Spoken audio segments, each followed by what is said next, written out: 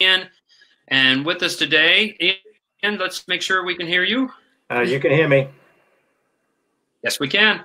And then uh, with us today, a special guest, Sarah Strickland, who is the uh, coach at App State. I'm going to stay just uh, safe there. Uh, so, Sarah, thank you so much for being here. Let's just do a quick audio check. Um, yeah, I'm here. I can't see Ian though. Is that okay? Yeah. Yep. Yep. Okay. Yep. That's probably good. So, Sarah, thank you so much for being here, and everybody else, thank you for being on. Um, and uh, there was some confusion, and it was actually my fault on the title of it, but we got to fix today. So I'm really excited, actually, about this presentation on building relationships and goal setting during COVID. I mean, what a fantastic title and very applicable to today. So, Sarah, let's just uh, first off, thanks again for being here. Uh, we know you're busy, and um, and if you're like me, you're busier now than before all this hit. Um, so, if you don't mind, just maybe share your journey a little bit. And sure, yeah. So I grew up in Northern Virginia playing soccer, and my family was all in soccer. My dad was a coach. My mom was an administrator okay. um, for Virginia Youth Soccer, and then she also uh, worked for Region One and grew up playing ODP and just you know loving the game and um, played soccer at George Mason University under Jack Sakala. And at the end of my career, he said, "I really think you should coach." And I was adamant that that wasn't a good decision. And, um, you know, he asked me, will you at least be a GA? Because I'd gone through and started my coaching licenses. And okay. I said, okay, yeah, I can try it. Um, and just fell in love with it, fell in love with mentoring um, young women and, and, you know, um, loved the licenses, loved going in and, you know, even went back and did my premiere after having my third child, just, you know, loved growing in the game and loved connecting and networking. And um, so, you know, just always found a way back. And, um, I had left college coaching when when I got married because my husband and I wanted to have a family, and I just felt like it was a better decision to be on the club side. So I was a, a youth director on the girls' side for eight years, and then when my daughter hit kindergarten, um, we agreed that I could, you know, have a, a different routine, and um, so went to Mississippi State and was an assistant there, um, and then. Um, got the call to come to app and i've been here ever since so i've been here for um, 10 and a half years and it's been an incredible journey no, well, thank you for sharing. And you must be busy with the three children. Um, Not know. really. No, they're a lot older. So I was senior. Okay. Yeah, I was senior, a junior, and um, one going into ninth grade. So they're they're pretty self sufficient. And no, you know, I feel for all those. Uh, you know, I think it's exciting for the coaches that have the young kids that they get to spend time to. I know it's probably a big challenge, but what what an opportunity um, to get to spend time with kids right now. So. Oh yeah, mm-hmm. no, I, yeah, absolutely. So, mm-hmm. um, yeah, and you know, it's really sad about your son not being. Did he? He was. Did he go through in graduation, or was it virtual? So it was my daughter, and it was a drive-through graduation. It was very unique. Um, I literally, this is probably embarrassing, or it is embarrassing, but um, haven't even sent her graduation announcements yet because we didn't know it was actually going to happen. So it happened on Saturday, and she turned to me today and said, "Now can we mail them?" so, so that's on my list. yeah, well, very good. Yeah. All right. No, well, thank you. Um, so we've got you know a, a good little audience. Samantha is watching from. Uh, uh, she says watching the amazing Sarah from Logan. and by the way, she's the one that volunteered you or volunteered you. She did. Uh, she yep, did. Yep, Love her. Yeah, she's wonderful. Um, Marco from Portugal. Oh, I'm Portuguese. That's so exciting. How cool is that? And then. Yeah we have Casey uh, Casey Schaefer from Collegeville, Pennsylvania, and Rob is in from Missouri. So those are the awesome. people that have been brave enough to share their names on the chat box. Oh, thanks, guys. Thanks for, for coming in. So you have a, a, very, in my opinion, a timely presentation. Uh, so uh, if you don't mind, I'll just start it, and then I'll just let sure. you kind of run with it. And then when I pop my bald head back on, or Ian, mm-hmm. uh, you know that maybe there's a, a, question in the chat box. So awesome. thank you. Again. Okay. Appreciate it. Um, so today I was going to talk about building relationships and goal setting during COVID, and I think it's um, it's an opportunity for us to really connect with our players and an opportunity to really help guide them um, in a different way. Um, you know, our sports psychology team at App is pretty amazing, and Dr. Cooper uh, worked with me on a lot of these slides um, to make sure that things that we're doing that we cited well. So um, def- it's all on our website if you guys would like to access it, and uh, it'll be stored with US Soccer as well, uh, or with the United Soccer Association with Vince as well. Okay, great. Um, so, you know, my big thing is that when we were going into COVID, it was how are we going to maintain our team culture? Our team culture at App is so incredible and it's so intentional. And so, um, for me, it was really important that we found a way to do it. And and so we really had to reach out to the girls and find out what topics they wanted to talk about, and not just how are you and kind of superficial stuff. Uh, we always, you know, ask them what are things you guys are interested in talking about now and, and learning and, and growing with us. Um, we always asked about how they were doing and how their families were doing first, because sometimes even if that's the intent, um, if they weren't in a good space, then like just kind of taking a step back and, and being real about life and, and letting them um, you know, talk and, and us listen and then really ask permission if, if they wanted some advice or if they just wanted to vent, you know, and I think um, that's how it would have been if they would have walked into our office that sometimes they just want to sit on the couch. So we tried to protect that um, and, and have that authenticity um, to make sure that they knew that that space was still available. Very good. We were very intentional with their time. I think having a balance between too little, like lack of contact, and too much of like way too many meetings was important. Um, and also a balance between meeting with the team and meeting individually. So we try to do two team calls a week um, and two individual calls a week just to make sure that they felt seen and heard. Um, we did handwritten cards, which I thought were really, really great. Uh, that we could spend time really being intentional with our writing and and getting having them get something in the mail um, especially yeah especially in the last week being relevant to the world and the events in the united states. Um, we've reached out to our girls to you know just give them space to want to talk and um, you know we don't have solutions but to know that we support them and, and we we empathize and we're reaching out to them i think is really important. Um, and to their families too like reached out to a lot of their parents on just you know let us know how they're doing and um, you know how they feel about coming back and and you know especially with the recent riots and violence and things like you know wh- where does everybody stand and how is everybody really doing? Um, we always followed up with answers if we didn't have them at the time so it might have been resources with academic assistance it might have been mental health it might have been our sports psychologist it might have been our sports medicine team but we always you know uh, told them you know if we didn't have the resources or we didn't have the answers that we would find them and get back to them. And i think they really appreciated that. I think they appreciated us being you know transparent that we didn't have all the answers but we were willing to work for them. Very good. Yeah the handwritten cards what a yeah casey schaefer mentions handwritten cards is a wonderful touch. I totally agree. Yeah.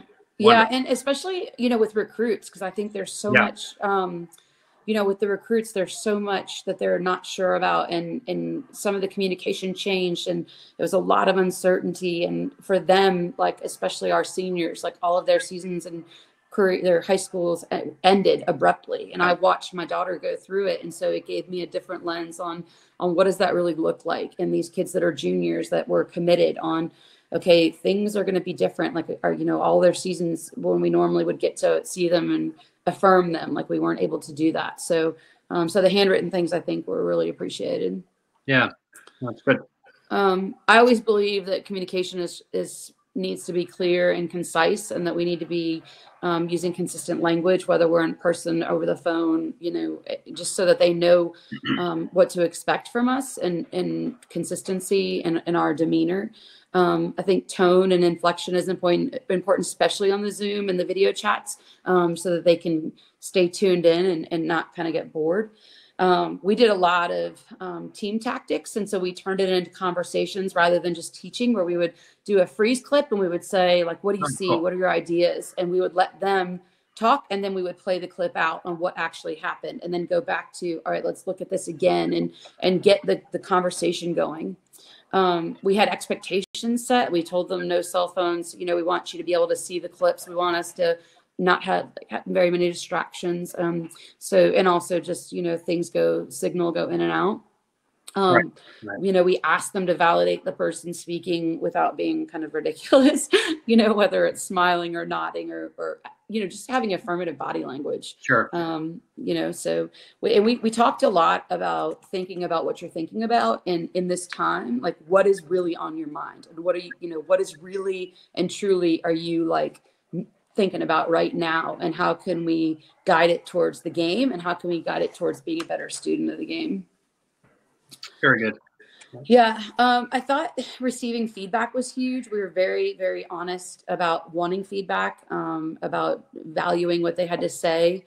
Um, you know, we believe that you could learn in a lot of different ways, and when we practice that in our offices, and so we were very intentional um, about trying to make sure that we validated all the visual learners and like took some of that and, and let them speak even more because a lot of times they're a little quieter in training as they're kind of watching um, but let them use kind of their skill set and and lead a little bit differently which i thought was kind of cool um, great yeah we also were very um, intentional about our own journey through and through social distancing on like hey we watched this zoom video on attacking or or whatever it was. I mean i've watched so many now and just on these are some ideas that came from it. What do you guys think? And and let them kind of unpack it with us on what were the ideas and which ones are we going to adopt and which ones are we just excited about but may not fit well with us. Yeah very good um, so our systems, we worked on our team systems. We put together PowerPoints that we had animated so they could actually see players moving together, you know, and shifting cool. as the ball shifted. Um, and like I said, with the visual learners, like uh, you could see the light bulb go off. It was just really, really incredible. And that's not necessarily something we would have done or had the time to do, I would say, um, right. because we would have been so busy breaking down our own film. It wouldn't have been how can we take this and make it into something different? Because we don't have film to break down.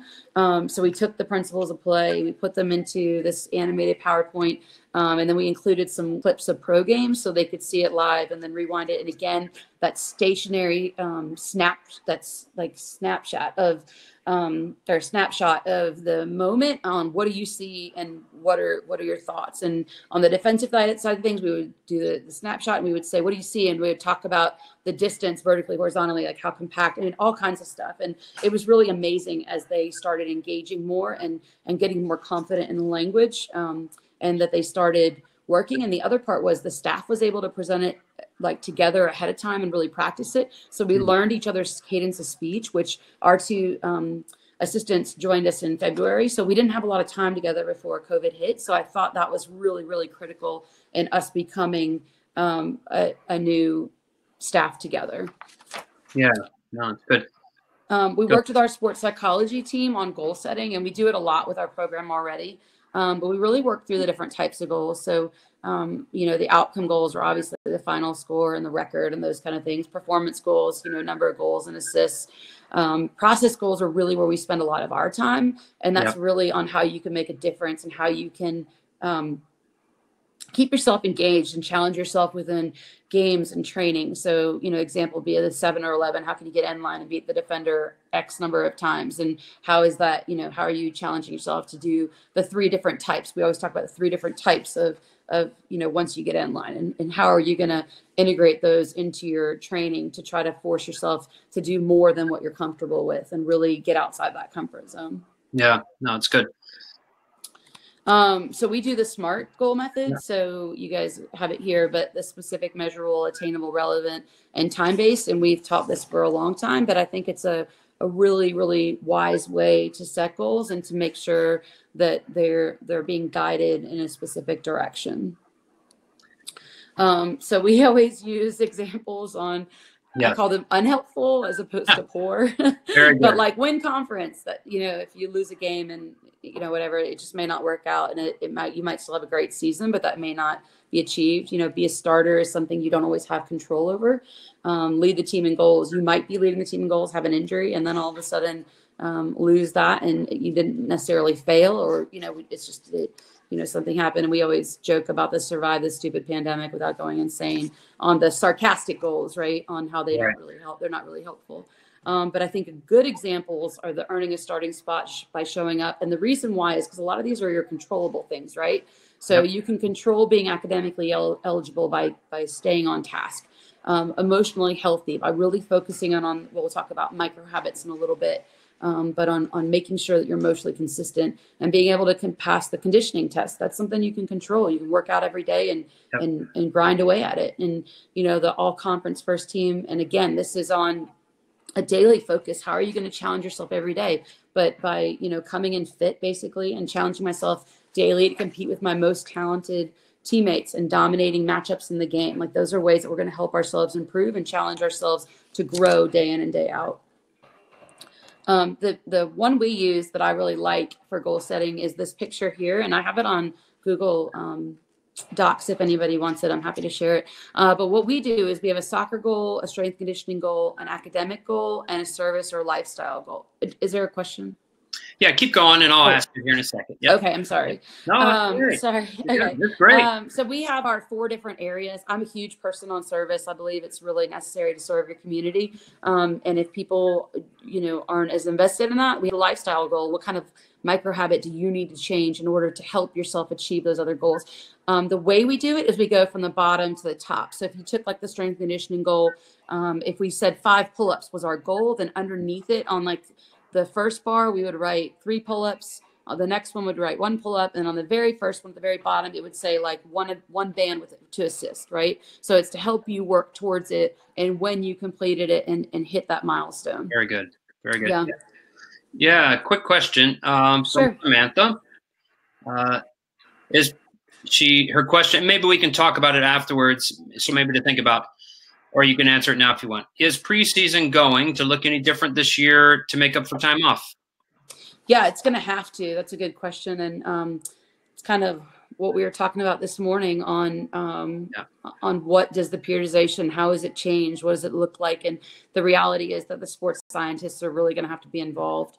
Um, you know, we're looking on our end at different um, opportunities to be able to test them, to be able to test like attenuation, like weaknesses of their muscles. Um, so we're looking at like a jump mat where we can do a vertical jump and see how much of a deficit there is uh, before they start to train and and really look at things that are kind of more than the eye test on like how do they look? How are they complaining? You know that kind of thing. Right. Um so you know to get after like are they really prepared to try to make sure and i say try to because we can never fully prevent injury um, but to do our best to to to be prepared and to yeah. do you know yeah. due diligence and there's a lot of different ways i know not everybody can buy a jump mat there's a lot of different um, things you can do but to really um, be able to evaluate you know we're going to be doing daily wellness checks we're going to be doing daily um, temperature checks and I mean, we have all kinds of things in place that the girls have been told on, you know, this is going to become the new normal. Um, but, you know, it's a, our, our periodization for preseason, we haven't really laid out yet because we don't know for sure the start date. So we decided to like pause on that instead of planning it all out and then yeah, possibly yeah. having a, a, wrench in it. So we decided to just stick with what it's been and what our norm, and then adjust our normal cadence. And then um, once they make any announcements, um, we go from there. But we also told the girls, like, you know, the reality is that um, when we were in the spring, and obviously COVID hit and it was abrupt, um, but there were teams on the basketball court warming up to play a game and they had to say stop. And with the potential resurgence, we know that that's a possibility that we could be doing something and they could say halt and we have to halt. Um, so that's something that we're very aware of. Mm, very good. Very good. Um, uh, yeah, I don't have a question yet. So, um, oh, there's like a bunch of. Should I ask these that are in here, or? I have a question, Sarah. Okay. Um, so Casey, you said challenges COVID with recruiting. Um, it's a lot actually. It, it's um, normally our freshmen get here in July, and I think they were looking forward to it. You know, I know that that was kind of their plan. So I think um, you know, missing out on their spring high school seasons and their spring club seasons. Like, I think, you know, the app not, you know, to not have an opportunity to touch a ball, I think they lose some confidence and they're already going from yeah. where they were relied on to uncertainty. So that's kind of, that's part of the reason why we started teaching the team principles um, where they could start learning things that they would be taught in preseason. Um, so yeah, I think it's made a huge impact. I think it's been really hard on the 21s, and I think it's been extremely hard on the 22s um, that normally would be getting calls in two weeks, and and they're not going to. Um, so there's probably some some fear and some apprehensiveness, but the reality is they're all in the same boat, and they just need to be reassured that like we're we're all there together. Like no one's you know in a different situation. Yeah. Yeah. Yeah. yeah I was I was going to ask that question. Uh, so Casey's all over it. So I was going to ask you yeah. about the incoming freshman, and it's great. Um, so Rob has a, has a question. Uh, are Zoom meetings in small groups or with the whole team? So we do it both. Um, okay. Some of them are the entire team, and then we do little breakout rooms depending on. So we'll do for our tactical ones, we'll do um, the entire group will teach something, and they'll go into our breakout rooms, and a staff will be in each of the rooms, and we'll break down, you know, for those positions, you know, a little more detailed on the um, on whatever the video clip was. So we we do it both ways. Um, and then we do individual too. So some of them are small group by position. Some of them are with their accountability groups. So we have accountability groups set up that our girls are. Um, there's like four in each accountability group, and and they like really rely on one another. Um, our team was already set up in families, but these are kind of a step beyond that. So like our families eat dinner together during preseason and and during the season we'll have family dinner that they at restaurants will sit together. Um, but we broke it down a step further and said okay accountability groups this summer um, you know we tried to keep them small so they could be honest with one another and real and vulnerable.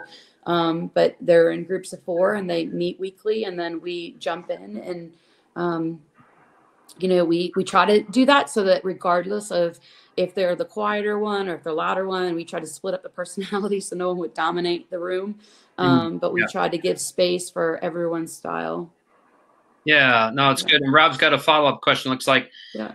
So, um, and by the way, so you, you, mentioned something that made me think of something. I mean, people buy in what they help create, right? Yeah, for sure. Yeah. Um, when when you do your Zoom meetings, do you also look to take this time to ask input from players that are normally quiet at training? Uh, and do you find more players finding their voice with Zoom and more confident and giving feedback that will benefit you once you get back? That's a it's a great question. Um, so two things on that. One, I am huge on scanning, and that's why I was asking if I'd be able to see people. Uh, my girls know that I'll be scanning, and if they look like they're checking out, I'll be like, "So, what are your thoughts?" I'll usually send them a text or like a chat in the um, in the thing to let them know, like, "Okay, I'm about to call on you because you look like you're checking out a little bit. Stand, you know, stand up, stretch, whatever you need to do." Um, but I I always call on the ones that are quieter because they're usually a little bit more insightful because they're thinking about it as opposed to talking about it. Right. Um, right. So providing them space, um, and I do, I do believe it's gonna, um, I do believe it's gonna help them with their confidence when they get to campus. Um, I do believe that people are gonna learn to give space to people that are a little bit quieter and mm. and listen. Yeah. Um, so to oh, thanks rob uh, to really give space to listen and to hear that input because i think a lot of times those quieter people really have insightful things to say that we need to yeah. um, pause for. Yeah, thank you. Um, Mr. Barker, are you on the other? Do you want to ask a question? Yeah, and I don't know if Sarah can hear me, so maybe Vince, you can oh, too. I can't hear him. She can't hear you, so I'll oh, ask. Yeah. Oh, okay. Um, and you have to apologize to Sarah because this is probably the hardest question I've asked of anybody in the 90 webinars. So, Warner, it's coming. Okay, so he said that he's going to apologize in advance because this is one of the toughest questions he's asked in all of our 90 plus webinars that we've done. So he just wanted to give you a forewarning. So. Okay. All so right. if Sarah's willing to answer the question, obviously her athletes have had this challenging situation and they've had the additional challenge, right? Because the men's team um, mm-hmm. is not going to re- resume for next season. And I wonder if she's had to deal with any additional stress because of broader issues within the athletic department? So basically, um, because he's just wondering if you're going to have any more issues to kind of deal with uh, due to the men's program being dropped, right? Mm-hmm. And is that going to cause any more uh, stress or um, problems for you? It's hard. Um, they're our closest friends. They are like our brothers for real. I mean, that's not even uh, like lightly said at all. Um, Jason, Brad, Maddie. They. I mean, I've walked with them for years now, and um, I've had a bunch of the men's soccer alumni reach out to me. I mean, I've had the team over for dinner at my house. I've put notes in their lockers for years. Um, watched their as many games as I could, and we host tailgates at every one of their matches and so our alumni we had a meeting last night and they were they were just devastated and yeah. i mean obviously not to the level of the men but um, but yeah i think um, I, I think the the hardest part for me is that i always um, preach that having the men alongside us is so important for like I go watch their training. I go watch what Jason's doing. I go watch their games. Like the girls go watch, we talk about it. We show the guys clips from our games and ask for advice. They do the same with us. And so I always tell people that I think it's such an advantage to have a men's program yeah. um, to be alongside and to grow with and um, and to lean on. And and I just like I yes, it, it will be a huge huge loss, a huge change, and um, it's it's um, I, I'm I'm still like not sure how we're gonna navigate it, and it's just gonna like we always trained right after them, so we'd always see them as they were cooling down and have some conversation, and um, so it's um, it's hard. Yeah, yeah. I mean, I think uh, Ian asked because you know it, it's gonna you know just acknowledge it's gonna be strange. It's gonna be yeah tough. It's um yeah yeah it's uh it's i've never been part of this i've been part of a lot of things in coaching over 20 years um i've never experienced this and it's um it's i've um you know yeah jason's wife is one of my very best friends so this is um yeah this is hard for sure so let's change gears and thank you by the way that was a that was yeah. a tough question um marco and i don't want to keep you too much longer because you've been very gracious with your time uh, sure. marco from portugal is asking uh-huh. if a player doesn't achieve those goals, readapt,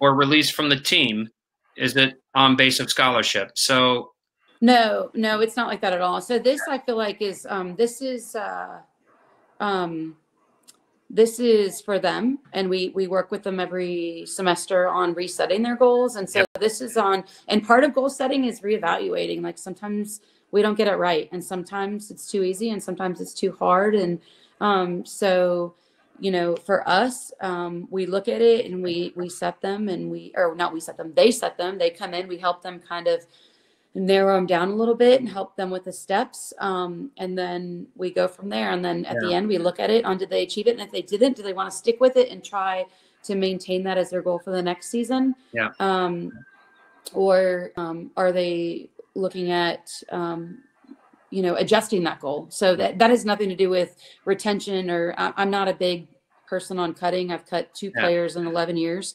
I'm not very good at it if you ask any of them um, so yeah so no this is just to help them and to help them with their journey on on the different areas and, and to stay balanced. I think the service yeah. goal is huge to keep that balance in their life of giving back to the community and you just get so much more out of it than than you're really giving and the relationships and the memories. And so you know, to help them maintain that, I think is good too. Yeah, no, it's great. Um, mm-hmm. let's we'll ask one more question because again, we're we're uh, you're giving us a lot of time here, which is wonderful. Sure. Thank you. Yeah. Um, Casey's asked uh, is asking, is there still uncertainty on the academic side of the school, and is there a firm date when classes will resume? And if you don't know, you don't know, I guess. No, classes start August seventeenth, and they've right. been pretty firm about that. So um, I know that. Um, they've they've ended school they've gotten rid of fall break so that they can end school yeah. a little bit sooner so that they'll be able to end at thanksgiving which i think is smart because yeah. that's like when flu season is starting to hit and